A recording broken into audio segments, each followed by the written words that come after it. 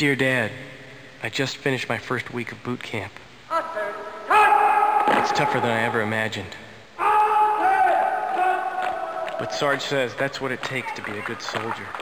Today I learned about the Army's new don't ask, don't tell policy about homosexuals. Sarge asked me to bend over. Drop down, private! I asked why. Don't ask and don't tell! Talk about a dishonorable discharge. Be